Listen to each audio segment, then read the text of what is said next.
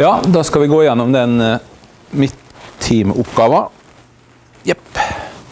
Eh, og løsning, både oppgave og løsning ligger da i fronter under eh, mappen midttimer. Eh, til eksamensoppgave, som da i mange år var innledningsoppgave, men eh, nå har jeg lagt den her isteden. Det viktigste med oppgaven dere eh, er kanskje den biten som går på endring av regnskapsprinsipp, som jo er hyppig spurt etter i, i mange eksamensoppgaver. Og Poenget er jo at det, måten å gjøre det på er jo lik eh, for alle eh, typer endringer av ikke bare om det gjelder varelager som her, men også dersom det gjelder f.eks. Eh, anleggskontrakter og en del andre ting. Så prinsippet er det samme. Men eh, første del av oppgaven går ikke på det. Første del av oppgaven går på, på eh, verdsettelse. Altså det er et selskap som har eh, noen varer, eh, landbruksmaskiner, som er produsert. Og så står det at de eh, de, eh, står det informasjon om tilstanden i fjor. Og så står det eh, for et år siden står det informasjon om tilstanden i år. Eh, poenget er at selskapet bruker faste tilkostnader som verdsettsmetode. Og hvis man da regner det her korrekt, så finner man at selskapet har en fast tilleggskostnad. Ja, skal vi se Egenproduserte ferdigvarer til full, mener jeg, full tildelingskost. Det finner dere ut er 1 40 eh, For det var fem De har fem halvferdige eh, og fem halvferdige på lageret. Som hadde vært gjennom den ene tilsavdelinga. Det finner dere da, som det står i løsningsforslaget, ved å ta Påløpte kostnader 32 pluss 11 er variable kostnader. Og så er faste kostnader 6000 pluss 3000. Det er fast tilgangskostnad. Eh, eller full tilgangskostnad, mener jeg. Eh, men så er poenget, og det er svært mange, sikkert når vi hadde dette som innleveringsgave, så var det halvparten som stoppa der. Men poenget er at det er jo lavest verdiprinsipp som gjelder. Og da må vi hensynta netto salgsverdi. Og vi prøver dette, denne verdien mot netto saksverdi. Og Den står det litt om her. Det står at selskapet mm, har eh, selger varene for en eh, pris på 55. Selskapet har, selskapet har en konkurrent som selger tilsvarende landbruksmaskiner for 55 000. Det vil si at vi kan kun selge de maskinene, altså den salgsverdien for de maskinene, selv om de koster så mye å produsere, så er den eh, salgsverdien brutto 55 000. Men så står det at salgskostnader er vurdert til 4000 per landbruksmaskin. Da er vi tilbake igjen til dette med at varekostnad er de kostnadene som inngår fram til at varene er oppi der. Salgskostnader er de som går med eh, fra å ha varene eh, i, vare, i, i lageret og ut til kunden. Og de er her fire, og vil si at netto salgsverdi er, eh, er 51 Ganger vi det med eh, hva varelageret var på Hjelp meg 20, var det ikke? Nei. mange var det de hadde? 20, ja. Mm. Og da får vi her 1 million og 20. Overraskende nok så er det da behov her for eh, nedskriving med å ta laveste verdi. Så faktisk korrekt svar er ikke 1 million og 40, men 1 million og 20. Det var det svært mange vi hadde sikkert fem år som innleveringsskader. Det var svært mange som ikke så akkurat den biten der, da.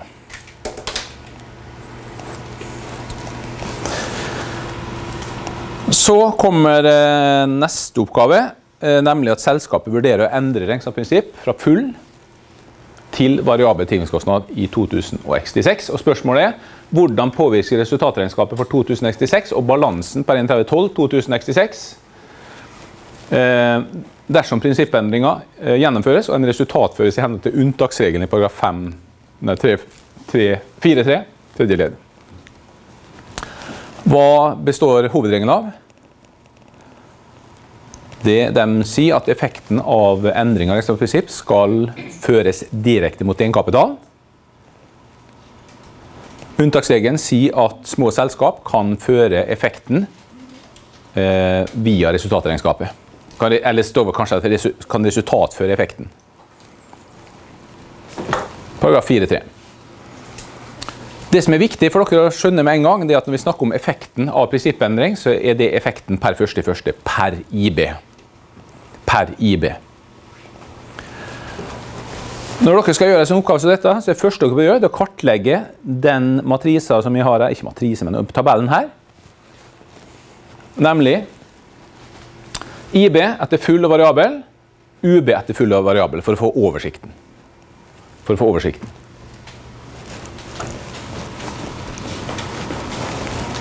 Det som også er viktig her, sant? det som er jo at selskapet har, den, eh, har allerede verdsatt Altså før vi kommer inn og skal korrigere, før vi kommer inn og skal korrigere, så har de bokført varelageret til 1 million og 20, altså etter full tilvirkningskostnad. I motsetning til eksempel eh, i, i eh, forelesningsnotatet, der var utgangspunktet at de allerede hadde, før vi kommer inn skal korrigere, så hadde de allerede gått fra det gamle til det nye prinsippet men de har gjort det på feil måte. for De hadde ikke gjort det via IB-en, gjort det rett på UB-en. Mens her er utgangspunktet at de har ikke gjort noen endring. De har, har til nå bokført etter gammelt prinsipp, men ønsker å foreta en endring til nytt prinsipp. Det tror jeg har skrevet litt om når jeg har utvida løsningsforslaget her. så jeg skrev litt om Det Det presiseres her at utgangspunktet er at selskapet har ført regnskapet i henhold til gammelt prinsipp, full, men ønsker å gå over til det nye variabel. I motsetning til eksempel 10 i forelesningsnotatet, der selskapet allerede hadde ført regnskapet i henhold til det nye prinsippet, men hadde utført overgangen på feil måte. For det er liksom folk liksom, men Hvorfor er det sånn her? Og det er grunnen for å si det sånn. Dette her er utgangspunktet. Det står 1020. Hva ønsker vi å gå til? Jo, vi ønsker å gå til 860. Det vil si at i balansen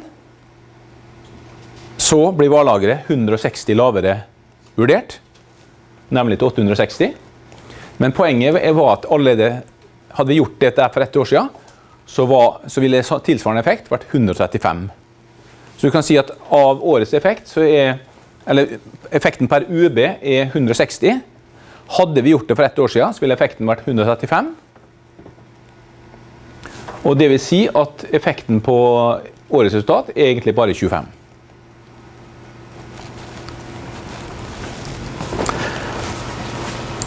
Her har dere løsning for laget sånn som det står, og så har de prøvd å tilføye det her med på T-konto isteden. Det som står med en liten skrift og kursiv her, det er det som står fra før. Det står et varelager på 1020, 1 020, og det står en endring varelager på 345.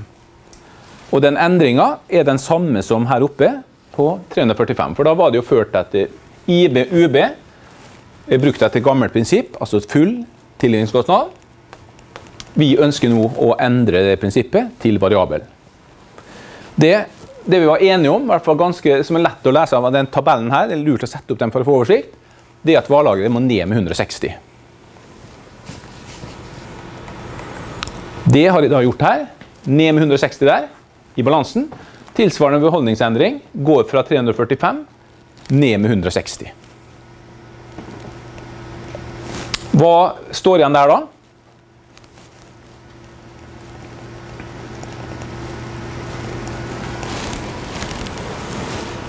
Da står det igjen der 345 minus 160. Eh, 185.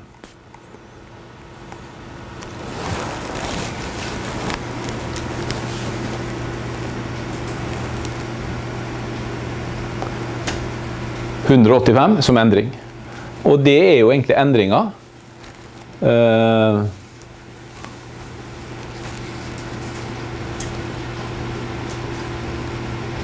fra da uh, går vi inn med IB på 635 ja, og til dit. Det er egentlig en endring der. Men den har, da, da ser dere at da krysser vi her. Da, da, her må vi rydde opp litt i prinsippet. da. Her må vi rydde opp litt. For det blir litt hummer kanari. IB-en etter gammel. Eller etter gammel, ja, og UB-en etter ny. Så ved å gjøre den endringa her, så har vi egentlig gjort eh, en endring som består av to element som vi skal komme tilbake til nå. Men i hvert fall enig at 160 ned der, 160 ned der. Og så som en følge av det, så får vi også en USA skatteeffekt. For i utgangspunktet så var det en USA skatt der knytta til Hva er skattemessig verdi her? Punktum. Hva er skattemessig verdi uansett? Variable.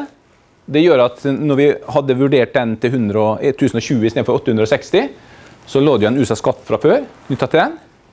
Når vi nå går ned til variabel, også regnskapsmessig, så går jo den utsatte skatten ned til null. For da er jo regnskapsmessig og skattemessig verdi lik variabel begge to. De er like fordi begge har variabel. Og da ser vi at Skatteeffekten av den korreksjonen her er 44,8, og det gjør jo at den utsatte skatten forsvinner. Og det stemmer jo, altså utsatt skatteeffekten stemmer jo på en måte med den, 44, 28% av den, men det stemmer også med at utsatt skatten da er borte. Fordi at vi ikke har noen midlertidige forskjeller lenger. Fordi at regnskapsmessig verdi er lik skattemessig verdi er lik virkelig eh, full, variabel tidligkostnad. Men så har jeg sagt til dere at eh, vi er ikke ferdig med et regnskap før vi på en måte har eh, resultatført effekten. Og det her gjør jo at eh, årsresultatet går ned med 115,2, og det gjør jo også at eh, annen innkapital går ned med 115,2, altså nettoen.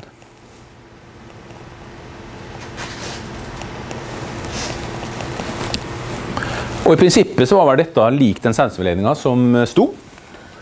Og var, Den sto bare sånn, men egentlig så er det en liten verkebyll her. Og verkebyllen den består altså av at vi her har tatt en endring fra en IB vurdert til full, og en, vurdert, en UB vurdert til variabel. Men dette var løsningsforslaget. Jeg tror ikke han hadde noe særlig mer kommentarer til det. Men eh, så har jeg lagt inn en, en, en, eh, en ekstra sak her. For er jo, poenget er jo at eh, effekten per første i første er 135. 135.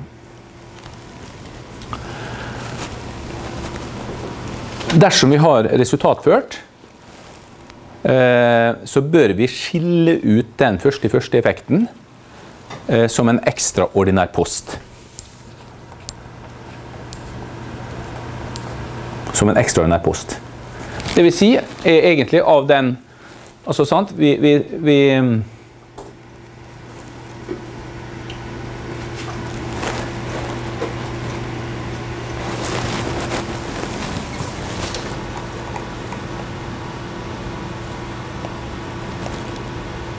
Det gjorde jeg i går. Her er en liten feil. Jeg skal, jeg skal rette opp det før jeg legger ut korrekt versjon i Jeg skal legge ut en ny versjon i fronter. Det gikk litt fort, men jeg, altså poenget er jo at eh, her har vi kredit, debitert 160 på den kontoen der. Og egentlig det vi ønsker nå, er å flytte 135 av de 160 ned som en ekstraordinær kostnad. Og da Beklager jeg at det er feil, men jeg skal rette opp det før jeg, jeg skal ta bort gammel versjon og rette med nye. Det vi ønsker da, det er å kjøre de 135 ned som en ekstraordinær kostnad her. Altså Egentlig skal det stå motsatt. skal det stå kreditt 135 der, og så, 135 eh, debet der. For det vi ønsker, er å løfte ut 135 av de 160 som en ekstraordinær post. Da framkommer det, hvis dette er korrekt, da, og da har jeg selvsagt også gjort dette feil her, ja. Men det, jeg skal rette opp det. Det går feil vei alt sammen her. Ja, mm -hmm. ja men det går i hop uansett, da. Men det vi har oppnådd, da, hvis ting er korrekt, det er jo at, eh, at vi ser at da Hvor mye står det igjen eh, her oppe, da? Jo, det står igjen 160 eh, minus 135. Altså 25 vil det da stå igjen. Hvis denne var på rett, da, altså sto 160 der oppe, og hvis vi nå har kreditert 135, så står det igjen 25. Vi løfter 100, altså IB-effekten 135 ned som eh, ekstraordinær post. Da vil det på endring egenproduserte varer stå igjen 25. Er ikke med på det? Da står det igjen netto 25. Beklager at det er feil vei, men jeg skal rette opp. Og da vil dere se at på den måten så får vi nettopp det vi ønsker. At det som framkommer på, på, um, på årets endring, eh, korrigerer seg med, med de 25.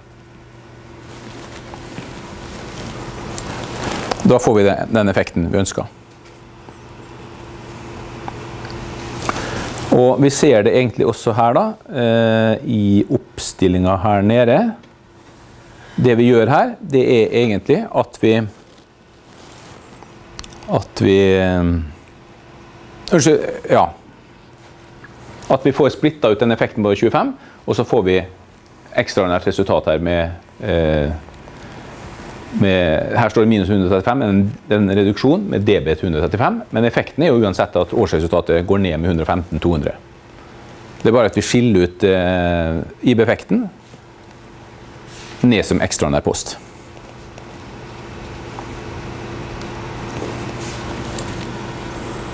Men som sagt, effekten blir den samme på årsresultatet, men bare at vi splitter eh, de 160 eh, i korreksjon på, en, eh, på, på årsresultatet og på, på ekstraordinær bit her.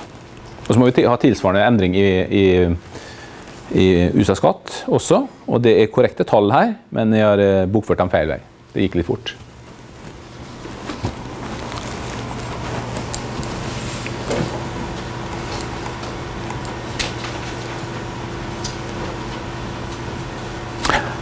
Ja, og hvis vi nå Altså, vi har jo Det sto 345 fra før. Altså fra før så står det 345. Og bruker debit og kreditt i kreditt. Så har vi korrigert med 160 i pluss. Og så tar vi løftet over. Det skulle vært kreditert. Etterpå så løfter vi over eh, kostnadsfører 135 ekstraordinært. Det gjør at vi krediterer her med 135.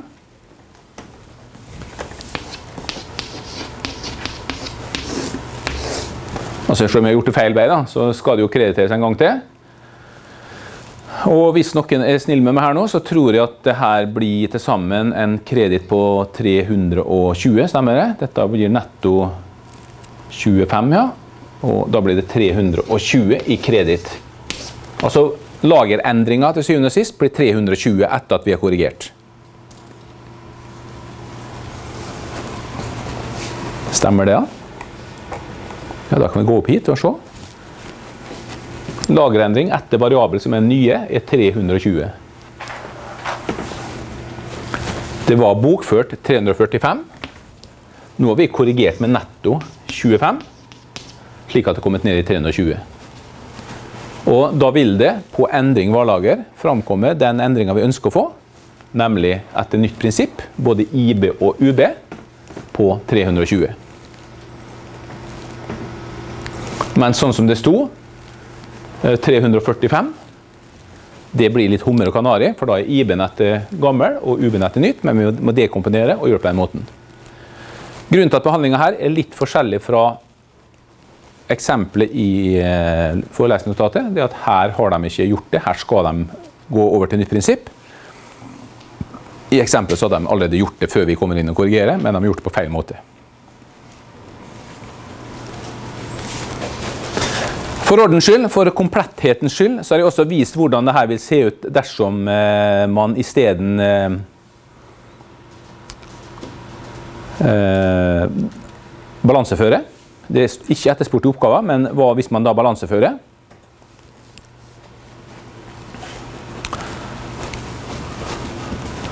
Altså velge å følge hovedregelen, som er å føre direkte mot egenkapital.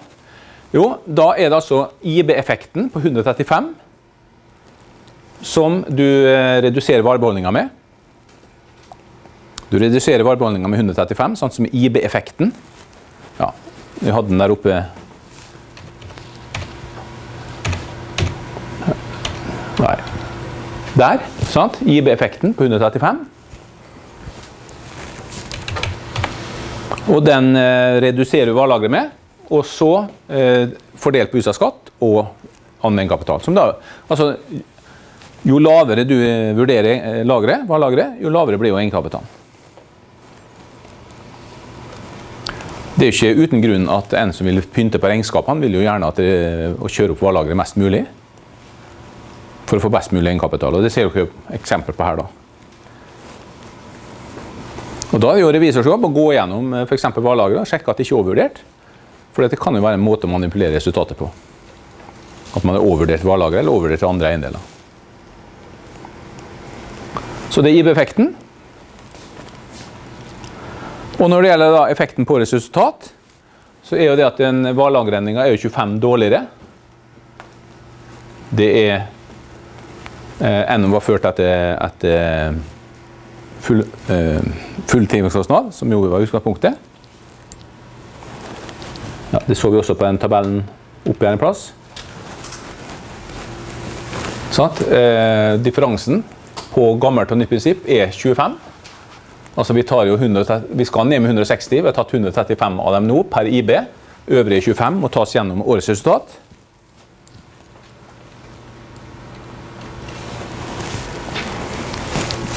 Ned der, debiteres der.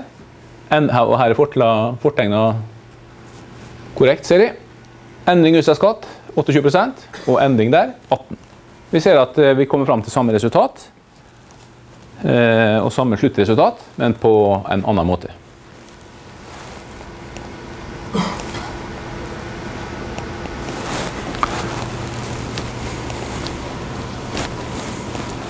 Ja, det, er ikke, det, er ikke, vanskelig, men du må liksom lære metoden. Og som sagt, så dette med endring av prinsipp det kommer vi tilbake til også i andre tilfeller enn akkurat for vårlaget. Kanskje vel så vanlig for, eh, for, eh, for prosjekter, da, eller anleggskontrakter, som det heter, som vi skal ta litt senere i kurset.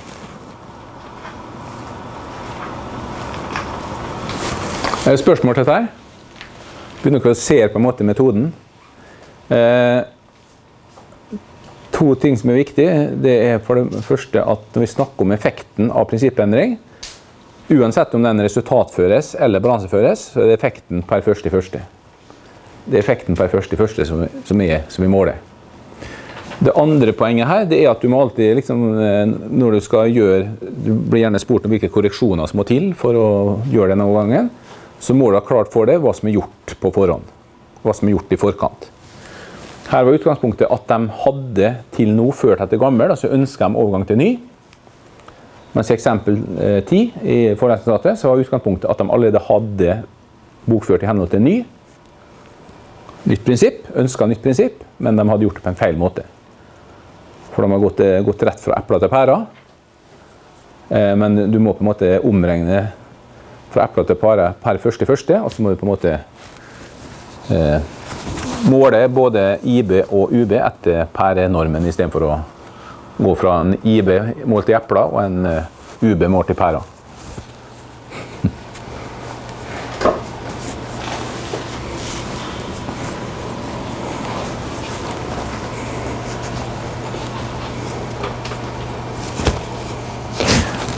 Ja, og så var det spørsmål med noen salgsopplysninger. Denne her er litt eh, Jeg sa at du må se mest på B, men jeg må ta de to andre oppgavene òg. Se bort fra informasjonen i B og forutsett at selskapet benytter full tingskostnad, som i spørsmål A. Du får følgende tilleggsinformasjon. Selskapets tilleggsprodukt har fra og med 2066 fått tilskam om to offentlige tilskudd. Det første er et salgstilskudd på, 50, på 1000 per, som som, som selskapet selger, og det andre er et lønnstilskudd, lønnstilskudd på 2000 per produsert enhet. Altså I A sant, så hadde vi jo at virkelig verdi er lik eh, Nei, unnskyld. At, at anskaffelseskost var det Hjelp meg, da. 20 ganger med 52. 52, ja. Som er 1040. Og virkelig verdi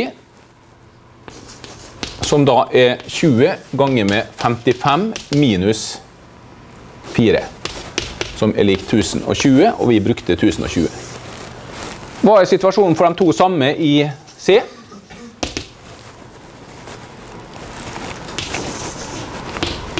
Vi får et produksjonstilskudd per Altså her nå det er ikke noe vanskelig oppgave, og egentlig innmari enkel, bare at man leser presist her hva som står. Jo, du har ett tilskudd som er per produsert enhet. Det går på anskaffelseskost. Og så har du ett tilskudd som er per solgt enhet. Det går på salgskostnadene. Derfor har jeg satt dette i parenteser oppe. Mye var lønnstilskuddet per produsert enhet. 1000. Enig? 2000 per produsert enhet. Og der står det per produsert enhet. Det vil si at anskaffekostnadene er da plutselig ikke 1 million, men 1 million. 1 million og 40, men 1 million. Hva er virkelig verdi nå? 55 minus salgskostnad, pluss at vi får et tilskudd fra staten for hver vi selger. Altså Staten anser at dette er så nyttig produkt at hvis dere klarer å selge det, så skal dere få tilskudd av oss. Og Der står det at eh, salgstilskuddet det er et salgstilskudd per maskin selskapet selger på 1000. Da blir det plutselig det her som blir 1052. Det blir 1020. Ja. 52, ja. ja. 1020. Laveste verdiprinsipp 1 million.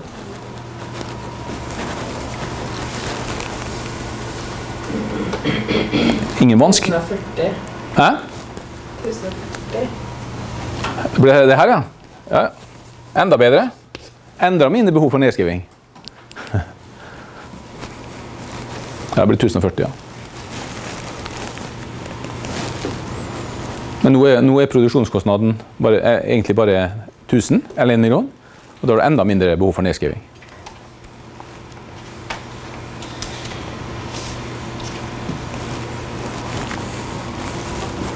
Så kommer eh, Ja. OK?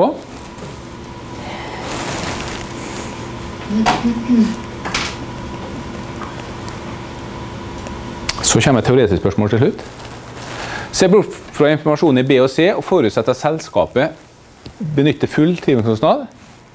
Pga. et tøffere marked forventer selskapet at i 2067 vil produsere som normalt, og at det vil finne sted en betydelig lageroppbygging av produktet.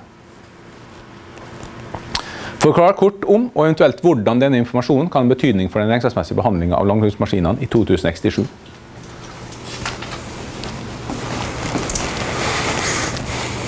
Skal vi se eh, Gi meg svar på hvor mye var til Hvor mye var faste, eh, eh, faste kostnader?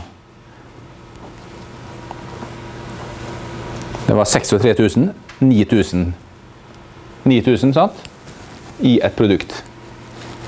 6000 i avdeling 1 og 2000 i avdeling, 3000 i avdeling 2. Til sammen 9000. Det vil si at for hvert produkt som vi da Ja, søren, nå brukte den tavla der, ja. Ja, delen der. Får ha med tilgitt. Ja. Jeg sa vel det relativt utførlig, da, men uh, kunne ha vridd på kameraet der. Men ja, jeg tror ikke jeg skal gjøre det heller. Det passa så fint. Ja. Jeg tror jeg sa det relativt utførlig, da. Hvordan det var gjort. Og det står også løsning for laget. Men så står det her nå, altså poenget Hva skjer hvis vi bygger opp mye lager nå? Hva skjer Altså For hver gang vi eh, tenker oss at vi kjører en enhet opp i ferdigvarelageret vårt For hver enhet vi fører opp, så har vi jo først da eh, variable kostnader på Var det 43 som var variable kostnader? Sant? Og det er greit nok. Sant? Vi har på en måte da Vi har eh, varekostnader på 43. Og så sier vi at, eh, at vi endrer det lagerfører vi til 43, så resultateffekten blir null for hver varelager vi produserer. Og det er greit nok. Så kan du også altså bruke en del faste kostnader og plusse på dem også. 9. Og så sier vi at vi øker varelaget med det samme. Og da legges det på 52 for hver enkelt enhet vi produserer. Men det er klart at hvis vi nå produserer innmari mange eh, for lager, ikke selger dem, så vil det jo til sammen ligge innmari mye faste kostnader i balansen. Balanseført. Kanskje plutselig får vi balanseført mange helt års faste kostnader. Og da har du tilbake til den klassiske diskusjonen. Dere har hørt om forskjellen på bidragsmetode og selvkostmetode. sant?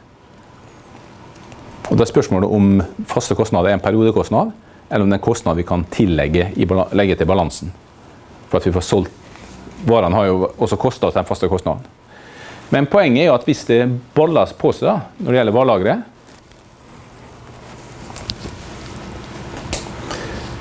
så, så vil det jo ligge utrolig mye inn i balansen av faste kostnader. Og da står det i god regnskapsskikk at du skal, ved oppbygging av faste kostnader skal være forsiktig med å legge til for mye faste kostnader i balansen. I, i, i, i balansen, ja. Dette ser dere på NRS varelager. Eh, side 1151, 1151, punkt 31.